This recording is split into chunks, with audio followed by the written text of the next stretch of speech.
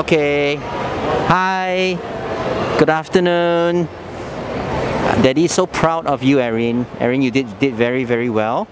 Um, thank you for uh, to to Johan's class for having this opportunity. It's definitely a very good opportunity for Erin. Um, she has been a lot braver than than, than when she was uh, before she started. So definitely a very good experience for her. And and and Erin, Daddy is very proud of you. You did very very well. You forgot one or two lines, but overall, I think you did did very very well.